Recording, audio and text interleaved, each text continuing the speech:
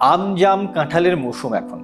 কিন্তু এবার দেশে আম কেমন হবে সেটা নিয়ে উৎপাদনকারী এবং কৃষিবিদদের মধ্যেও বেশ ভাবনা আছে।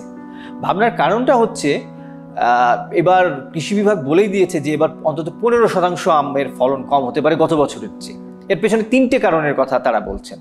একটা হচ্ছে যে, এবার শীতটা বেশ দীর্ঘ সময় ধরে ছিল, ঠিকমতো মুকুল আসেনি, যে সময় আসার কথা ছিল, আসেনি। দ্বিতীয় কারণ হচ্ছে যে, তাপপ্রবাহ। এপ্রিল মাসের পুরোটা জুড়ে আমরা জানি তাপ তাপপ্রবাহ সেটা একটা কারণ। আর তৃতীয় কারণ হচ্ছে যে আমের এবার অফ ইয়ার তো প্রথম কারণটা যদি আমরা বলি যে, আমরা দেখেছি যে সাধারণত ফেব্রুয়ারি মাসের প্রথম দিকেই আমের গাছে মুকুল আসতে শুরু করে। কিন্তু এবার, বিশেষ করে যে অঞ্চলগুলোতে আমের উৎপাদনটা অনেক বেশি হয়, সেখানে দেখা গেছে যে ফেব্রুয়ারি এমনকি মার্চের শেষ দিক পর্যন্ত ঠিকমতো মুকুল আসেনি। এটা একটা, এটার মূল কারণটাই হচ্ছে শীত এবার দীর্ঘ সময় ধরে ছিল। শীতের ব্যক্তিকালটা একটু বেশি সময় ধরে ছিল এই- জন্য মুকুলটা ঠিকমতো আসতে পারেনি। আসার জন্য যে ধরনের টেম্পারেচার লাগে দিনে, সেই তাপমাত্রাটা কাঙ্ক্ষিত পরিমাণে ছিল না। এজন্য কিন্তু আমের মুকুল একটা পার্সেন্টেজ কিন্তু মিস হয়েছে সারা দেশেই। এবং তারপরে লেট মুকুল যখন ফোটে মুকুলগুলো যখন ফুটন্ত অবস্থায় ছিল সেই সময় একবার বৃষ্টি হয় দেশ জুড়েই।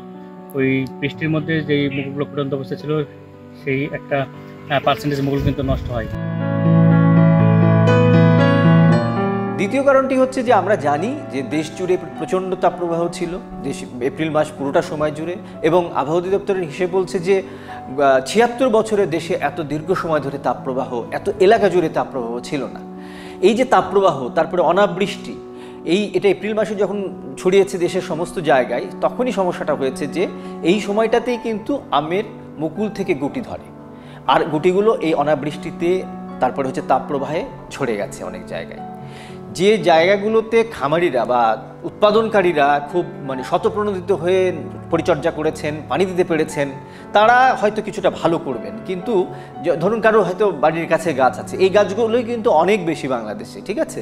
তো সেই জায়গাগুলোতে কিন্তু আমের ফলন খুব ভালো হওয়ার কোনো সম্ভাবনা নেই। আমের এখনই বারবান্তর সময়। এই সময় প্রয়োজনীয় সেচ, প্রদান এবং পরিচর্যা করলে আমের মান বাড়বে এবং ওজন বেড়ে যাবে। আমের আকারও বৃদ্ধি পাবে। আর এটি করতে পারলে আমের ঘাটতিজনিত যে সমস্যাটা ছিল, উৎপাদনের সমস্যা ছিল, সেটি কাটিয়ে উঠতে কৃষক পারবে এবং উৎপাদন পরিমাণটা বেড়ে যাবে। তৃতীয় কারণটি হচ্ছে যে আমের আম এমন একটা ফল, বাংলাদেশে একমাত্র ফল বলা যায়, যার একটা বছর ফলন ভালো হয় আর একটা বছর ফলন কম হয়।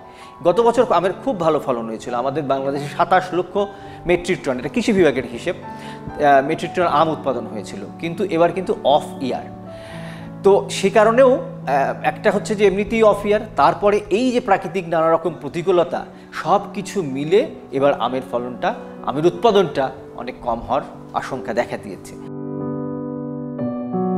করণীয়টা হচ্ছে যে এখনও পর্যন্ত কিন্তু এখন একটা বাড়ন্ত অবস্থায় আমগুলো আছে।